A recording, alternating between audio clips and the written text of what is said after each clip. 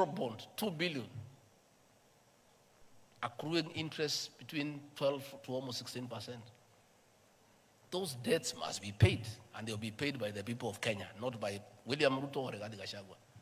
It is the people of Kenya. Us being part of Kenya will pay through paying taxes. Ah, these people shouting left, right, and center telling us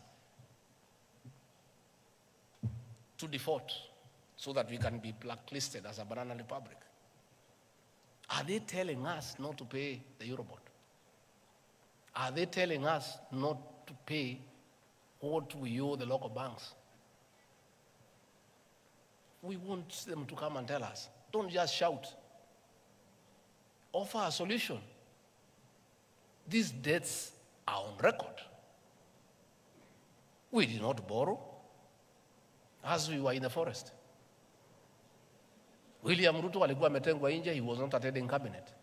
He was not attending the National Security Council. He was not part of committing the country to those debts. But he is the president of the Republic of Kenya. He inherited those debts. He has to figure out how they have to be paid. And we are inviting you, good people, to help us with ideas of what we do, how we can go about it, how do we avoid them in future. Through continuous engagement, through bilateral and multilateral diplomacy, the president has traveled around the country, the world, engaging multilateral leaders, the IMF, the World Bank, key partners, the United States, the People's Republic of China. Currently, he has just left Germany for France to see how we partner with the world to get us out of the mess we are in. And it has started to pay. Yesterday, the World Bank made a huge pronouncement of 12 billion US dollars in the next three years, concessional loan on very low interest, as opposed to trying to borrow money here from local, from local banks. The IMF, four days ago, made a similar announcement of a huge intervention. We have public roads that have all stalled. They need, we need to get the contractors back on site. We have to get this money somehow. We did not create this situation. We found it. And they are uncomfortable when we say that's the situation we found. What do they want us to say? You people know you manage companies. You know you look at the state of the books when you take over a company. You take a company that is in the red, you know what to do with it. You take a going concern, you know what to do with it. But as we didn't have a choice. Kenya is ours. We took it the way it was because this is our country. If we had, an, if we had a choice, we would have looked for another company, not Kenya. because of the huge debt portfolio through irresponsible borrowing. When we tell the story, because we are going to tell the story, people will be shocked. How 2 billion US dollars was taken from the central bank and put in a private bank that is responsible for the situation we are in, the weakening of the shilling. And people want to sit there, and we know what they did. And we had said, let bygones be bygones. But there's a good discussion. We are going to have a good discussion. We are putting the figures into place who took what and where so that the people of Kenya can know why we are in this shit and this mess. To be fair to everybody, how do people expect a government to fix a 10 year mess in one year? A mess of 10 years. Through state capture, conflict of interest, outright theft of public resources, irresponsible borrowing, misuse of public funds, misapplication, misapplication of funds into useless legacy projects. And here we are. We must be truthful to the people of Kenya because it's important that we be truthful to the people of Kenya. And when the people of Kenya finally know the truth, they'll make a judgment, an assessment on who is right and who is wrong. But what I can assure you, the president and the rest of us are determined to fix this economy, and this economy we shall fix it. And there are good signs. And signs are last year, for the first time in eight years, at the closure of financial year at midnight on June 30th, we had given every cent owed to the county governments. And previously, we had arrears of five to six months for county governments for years.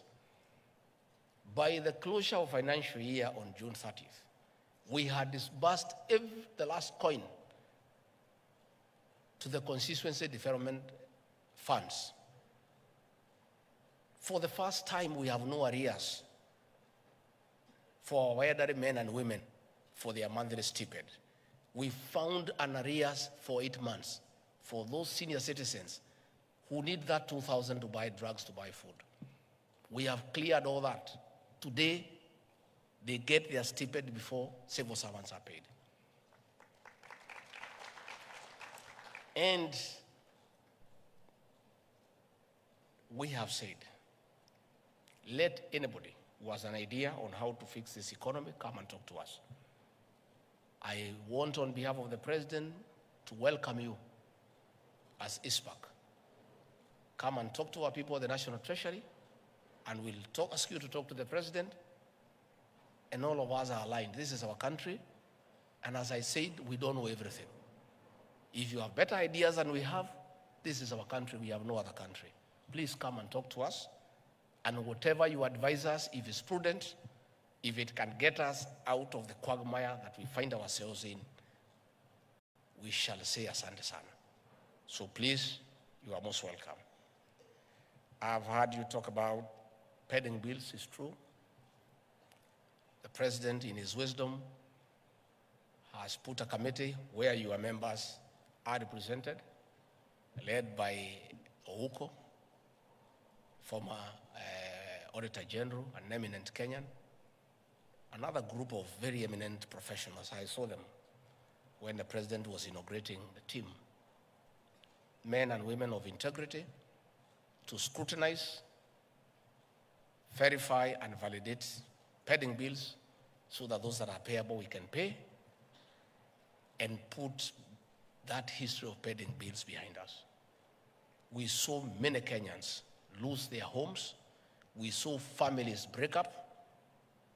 We saw people commit suicide as a result of pending bills. Government documents became worthless. Previously, during the Kibaki regime, you could walk to any financial institution with an LPO and get LPO financing 50% without a question because the documents had credibility.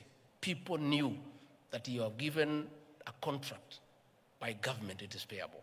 Today, there is no bank or uh, microfinance institution that will honor an LPO because you supply it two, three, four, five years down the line, you have not been paid. We want to restore the sanctity of government LPOs and LSO and contracts so that they become bankable. That you can walk to a bank and get cash against it to carry out the works that you have been given. So that is ongoing. Again, you have said you have your issues of the remuneration role. You have explained to me there and here. And what we have agreed, I'll create the framework. My office has been tasked by the president the responsibility of coordinating constitutional commissions and independent offices.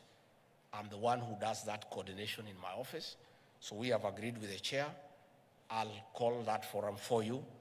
The Attorney General and no other people involved, we begin that conversation so that, like your counterparts, the lawyers and other professionals, you can have your own remuneration role.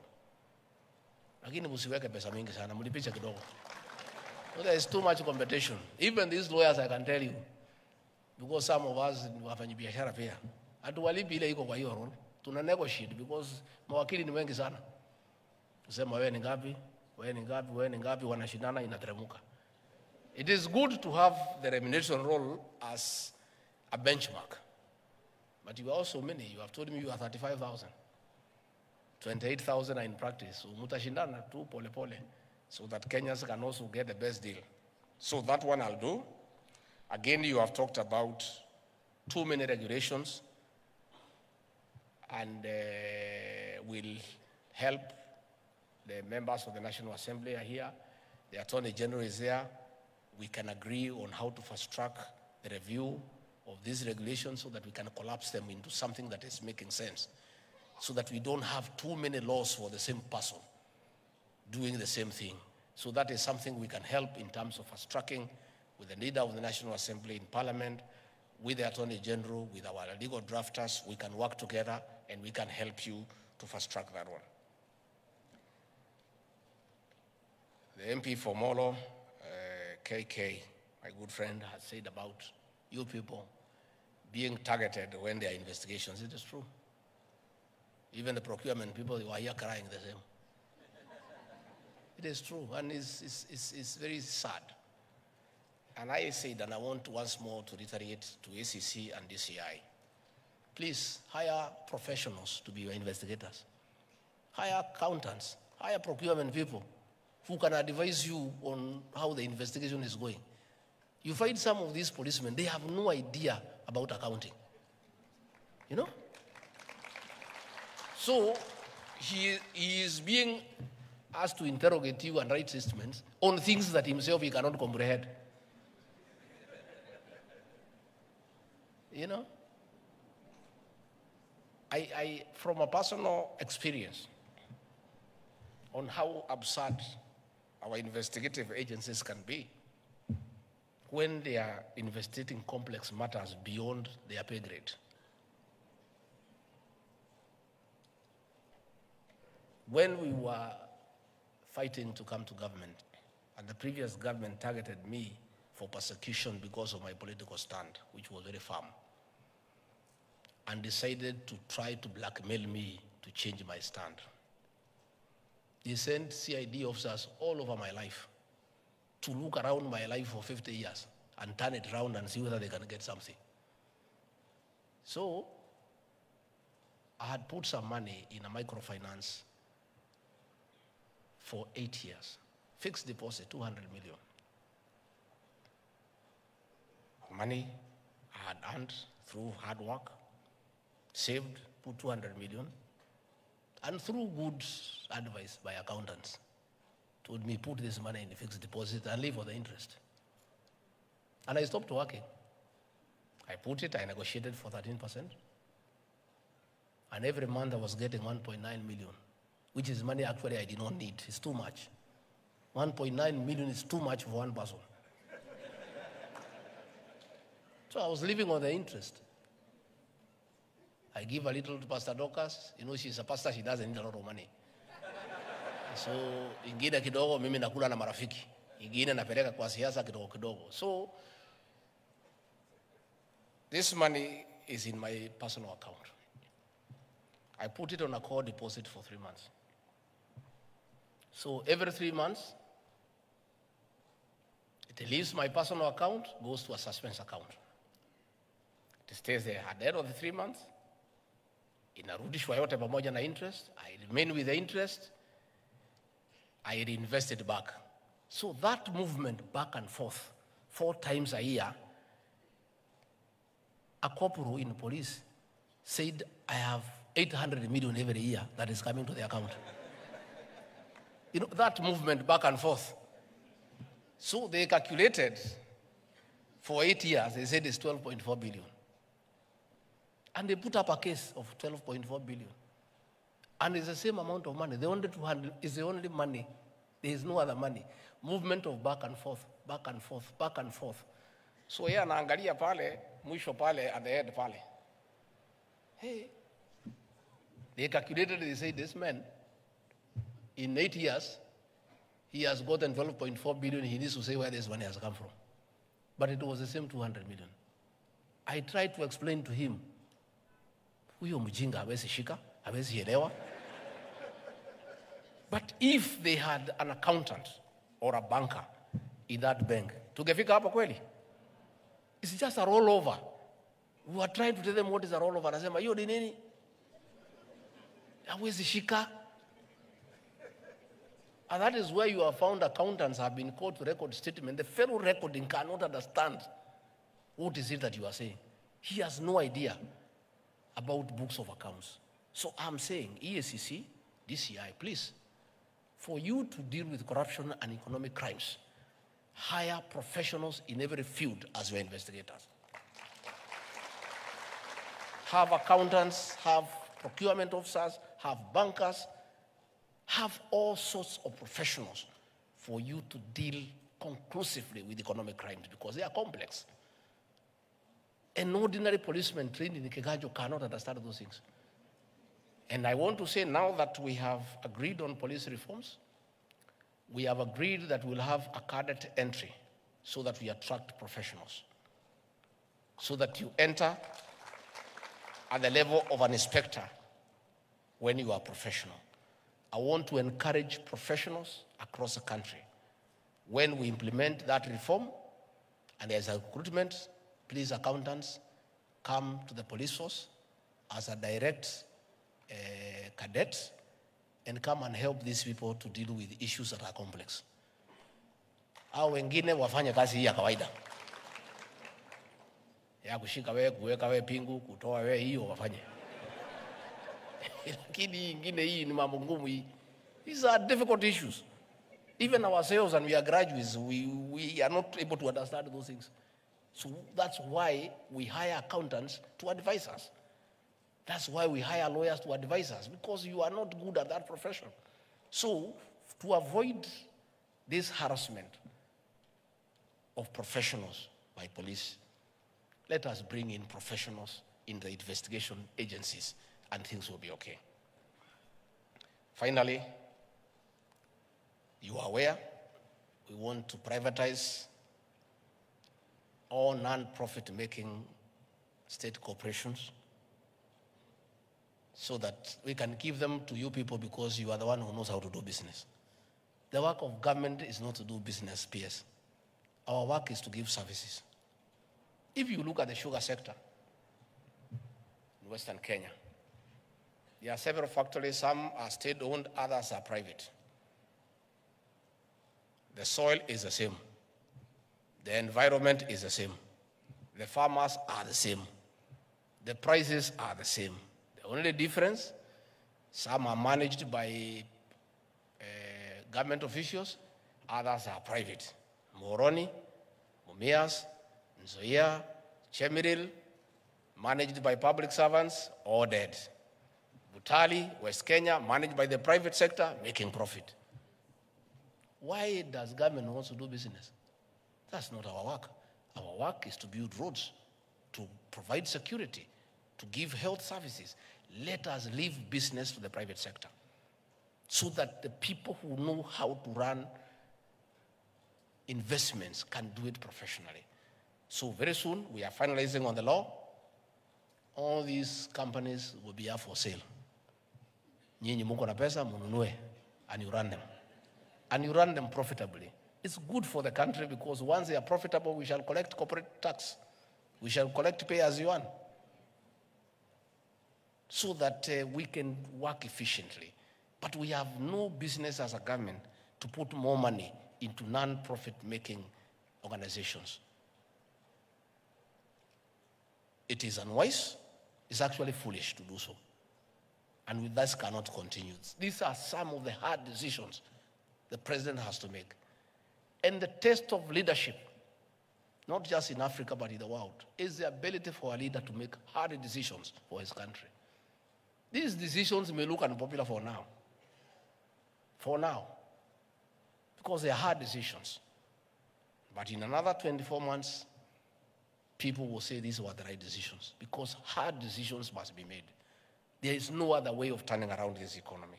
And if we don't make hard decisions, we'll all get into problems. Technology is the way to go. We have started ourselves as a government.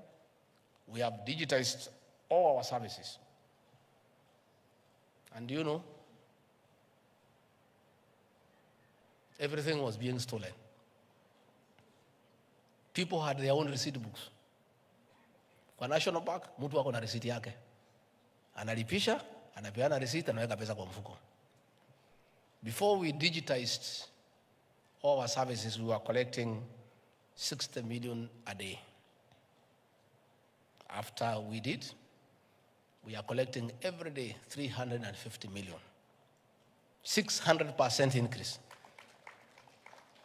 The 290 million ilikuwa naenda kwa mifugo ya wanaume. And there was a lot of resistance.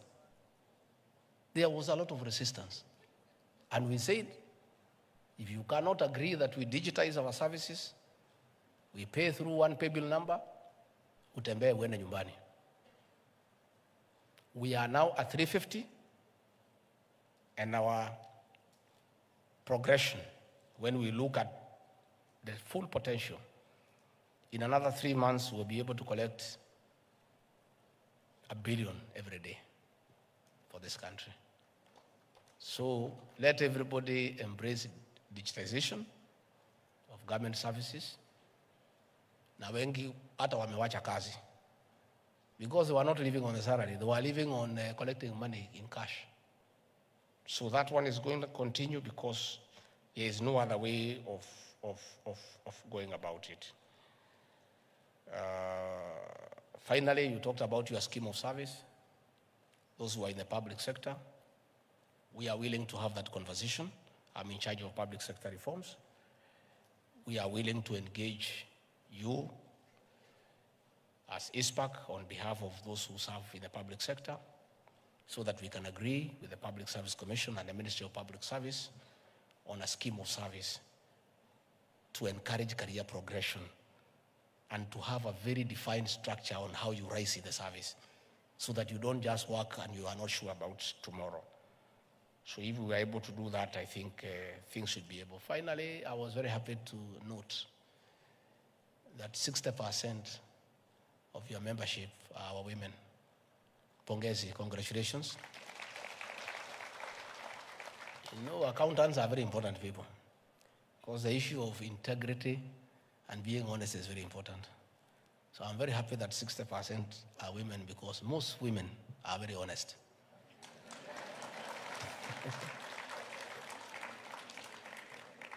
yes, right. myself, I hang around with a lot of women in my office. All the key areas nimepatia wamama because hapana wezi. Quite a number, a few ni wakora lakini the whole a few mang'aa kidogo wanakaa kama wanaume, lakini sisi wazee tuko wakora kidogo. So I'm very happy that uh, most, you, you, 60% of your members are women, and we want to encourage our women to fight for your space in every sector in this country, including leadership. Be women of substance. You have something to offer because you offer service from the heart. You are very genuine and compassionate in what you believe in. So we would want to see more women in leadership. And I can tell you from the cabinet, we have eight women. The one at Toa Jasho, they work and they work from the heart. They are so passionate in what they do. We want to see more women in the judiciary. We want to see more in the cabinet. We want to see more in the private sector. We want women to take up their rightful space in the management of the affairs of this country and the, in terms of economic activities. Kwa hivyo mimi nimeshukuru sana. I've learned several things. And you know, sisi watu hatujasoma sana, ukikaa na watu wamesoma unafaidika. Najua when we were studying biology, uh, there were two processes in biology. One was called osmosis. What was the other one called, uh, Kimani? Yeah? Diffusion. So, bila nimekaa hapa, ukikaa na watu wamesoma through diffusion and osmosis, una hata wewe unapata. So, so I feel more educated and more learned by just sitting around with you people. So mkiniita tena nitakuja, mkitaka nimletee rais atakuja. Yeah. At least rais ako na bahati, you cannot intimidate him. Ako na degree tatu, sio kama mimi niko na moja.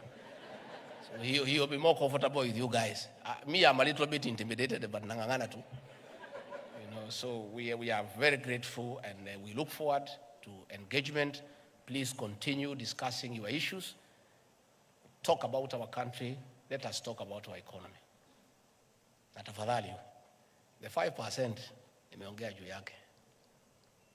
95% nyinyi watu wazuri. Mm, wazuri sana. Lakini 5% nyinyi ndio mtatuharibu sisi. You are the one who come to show us how to cook our books so that we evade tax. Nyinyi, there is nobody who evades tax without an auditor. Hakuna mwananchi ya kawaida anaweza koroga hiyo vitabu aepuke. Nyinyi ndio wajuaji ya kukoroga vitabu. You people. Matters tax evasion, you guys are in it. You are the ones who sit down with the directors of companies and show them vile watakoroga vitabu. Na ndio unaona mtu akiitwa na KRA anasema ngoja nitafute accountant yangu kwanza. Nobody is willing to talk to KRA without a fellow there. It's like a lawyer on matters tax. So please, be good people. Be patriotic to your country. Let people pay what they owe. Don't assist them to cook books. You know, let them just pay what is due so that we can build roads, we can buy medicine, we can build more hospitals, we can take care of the senior citizens, and we can do all the other things that we need to do by the tax we have collected. And ourselves, on our part, we have committed to make sure that the taxes are used for the purpose for which they have been collected. We are sealing off loop- loopholes for leakage and for stealing of uh, public funds so that the people of Kenya, once they pay tax, they can see what the tax is doing. With those very many remarks, asanteni sana na Mungu. Thank you.